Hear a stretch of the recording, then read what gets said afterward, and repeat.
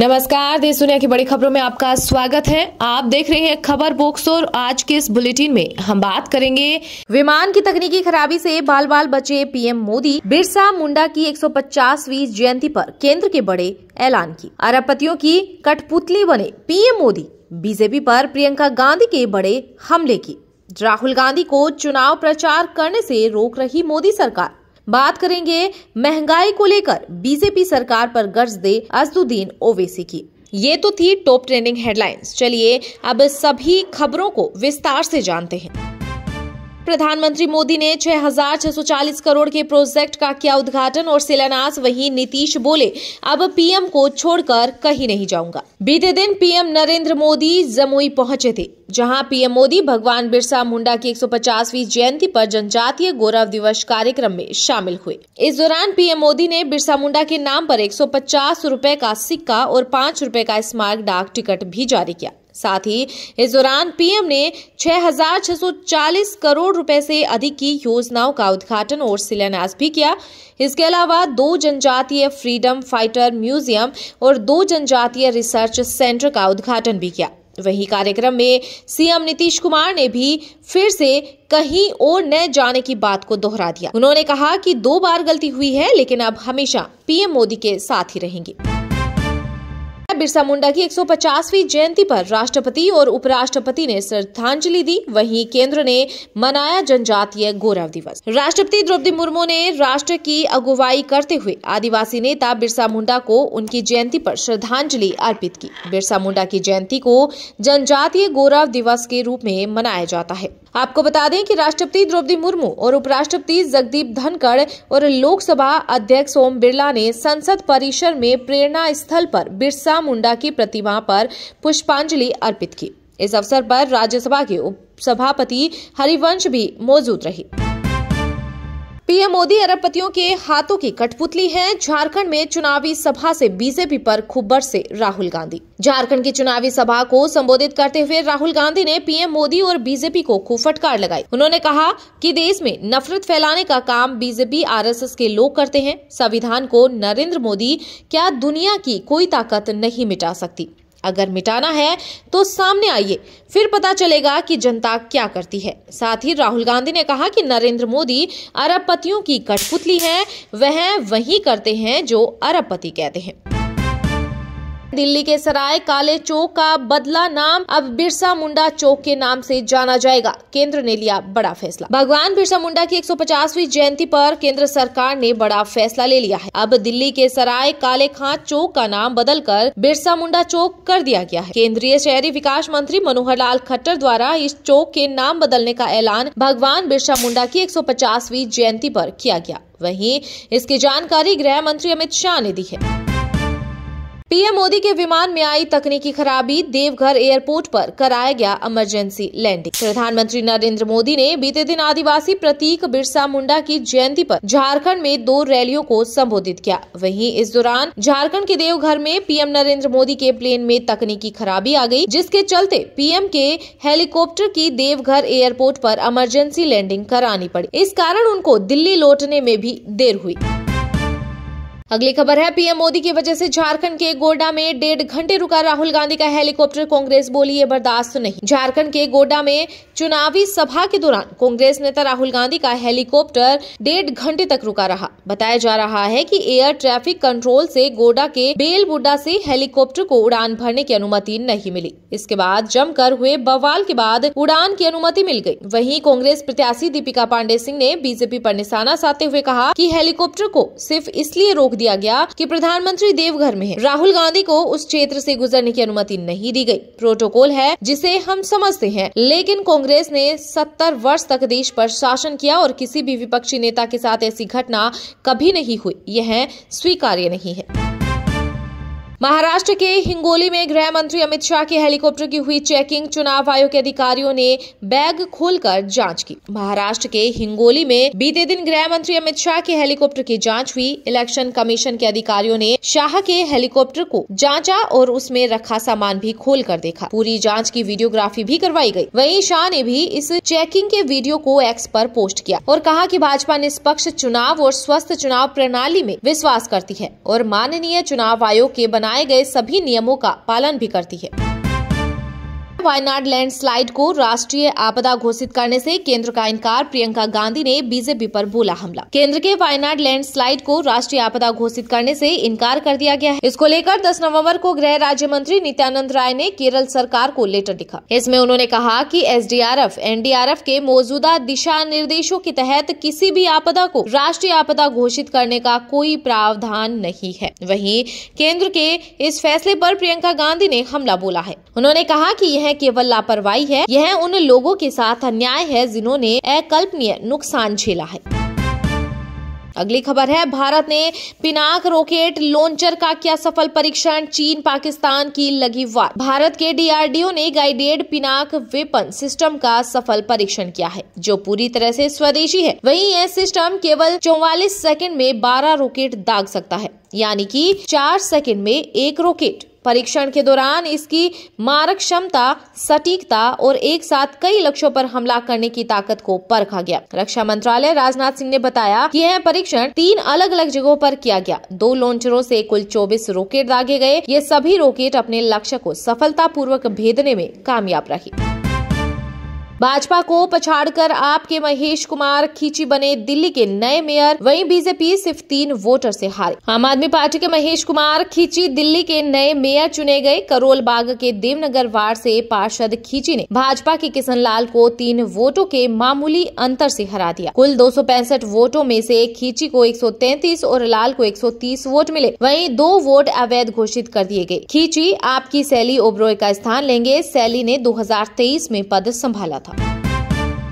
दिल्ली में कांग्रेस को लगा एक और बड़ा झटका, वीर सिंह धिंगान ने थामा आम आदमी पार्टी का दामन। दिल्ली में विधानसभा चुनाव से पहले कांग्रेस को एक और बड़ा झटका लगा है। कांग्रेस के तीन बार विधायक रहे वीर सिंह धिंगान आम आदमी पार्टी में शामिल हो गए हैं। पार्टी के संयोजक अरविंद केजरीवाल ने आम आदमी पार्टी में वीर सिंह धिंगान की ज्वाइनिंग कराई थी। साथ ही इस मौके पर केजरीवाल ने इस बात का भी ऐलान किया कि वीर सिंह धिंगान को सीमापुरी से टिकट दिया जाएगा। केजरीवाल ने कहा कि पार्टी और यह देश किसी की बपोती नहीं। जहाँ भी अच्छे लोग हैं, उन्हें टिकट मिलना चाहिए। यूपी पीएससी परीक्षा की नई तारीख का हुआ ऐलान। 22 दिसंबर को आयोजित होगी परीक्षा। यूपी लोक सेवा आयोग ने यूपी पीएससी परीक्षा के नई तारीख का ऐलान कर दिया है। घोषणा के मुताबिक अब परीक्षा का आयोजन 22 दिसंबर को दो पारियों में किया जाएगा। वहीं इससे पहले परीक्षा 7 और 8 दिसंबर को होने वाली थी, परंतु छात्रों के आंदोलन के बाद सरकार एक दिन में ही परीक्षा करवाने पर सहमत हो गई है। दो पारियों में होने वाली परीक्षा सुबह साढ़े नौ बजे से साढ़े ग्यारह बजे तक और दोपहर ढाई बजे से साढ़े चार बजे तक होगी। महाराष्ट्र में महँगाई को लेकर भड़के अजदुद्दीन ओवीसी, मोदी सरकार पर हमला बोलते हुए बताई फ्री की योजनाओं की सच्चाई। महाराष्ट्र विधानसभा चुनाव की तारीख जैसे जैसे नज़दीक आ रही है वैसे वैसे प्रदेश में सियासी पारा चढ़ता जा रहा है। इस बीच ए आई एम आई एम के राष्ट्रीय अध्यक्ष अजदुद्दीन ओवीसी का एक वीडियो सोशल मीडिया पर जमकर वायरल हो रहा है। वीडियो में ओवीसी महाराष्ट्र के संभाजी नगर में चुनाव प्रचार के दौरान वो सब्ज़ी के भाव पूछते और महँगाई पर सरकार को घेरते हुए नज़र आ रहे हैं। दरअसल ओवीसी कहते हैं कि छह सात सब्जियों को खरीदने पर जेब से पाँच सौ रूपए खर्च करना पड़ रहा है और वो लोग पंद्रह सौ रूपए देकर लाडली बहन लाडली बहन चिल्ला रहे हैं।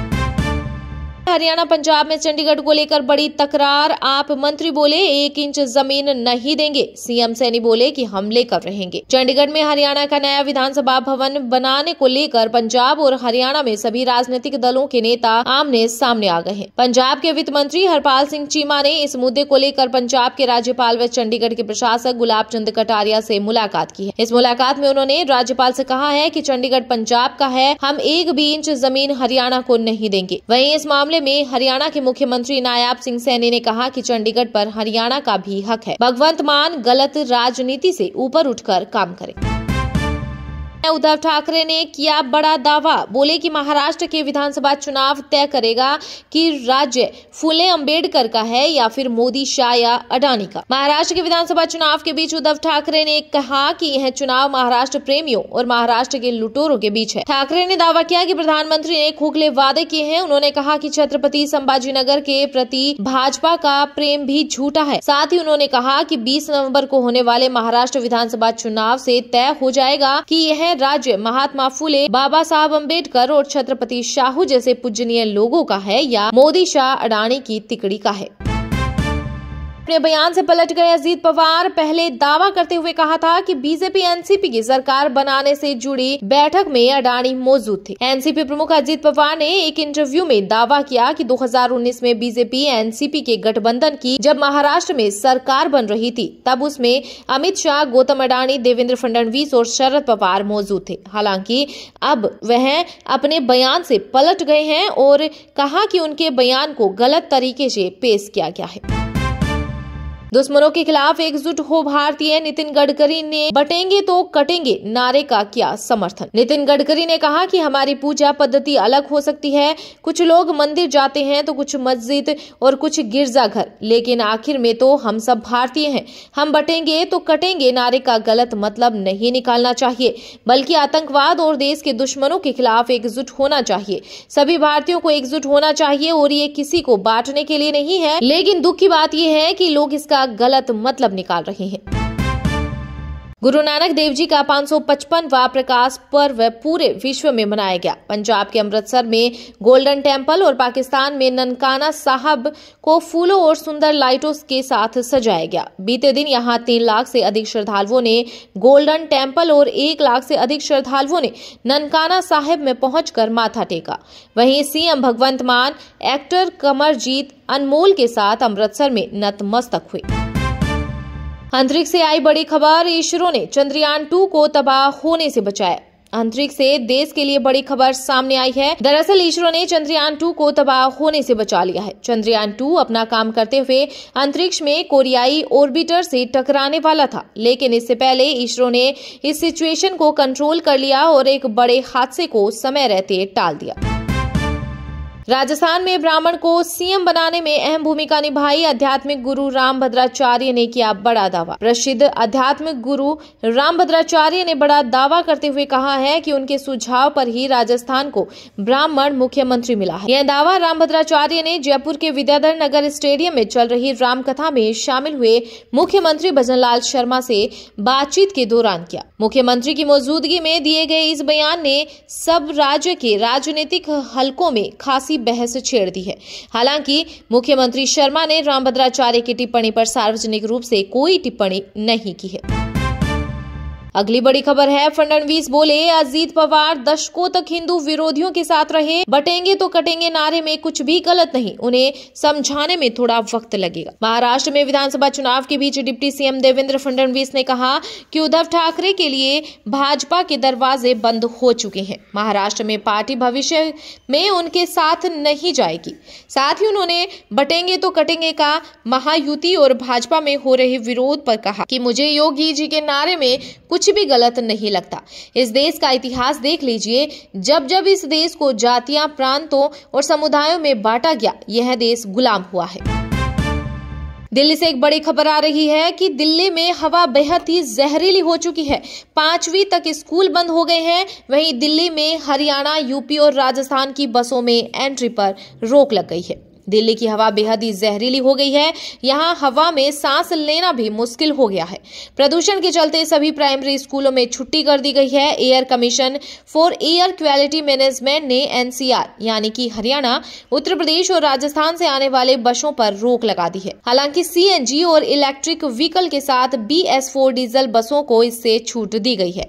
वहीं इस बीच अमेरिकी साइंटिस्ट हीरेन जेटवा ने दिल्ली की सैटेलाइट इमेज शेयर की है। इसमें दिल्ली में घना स्मोक दिखाई दे रहा है।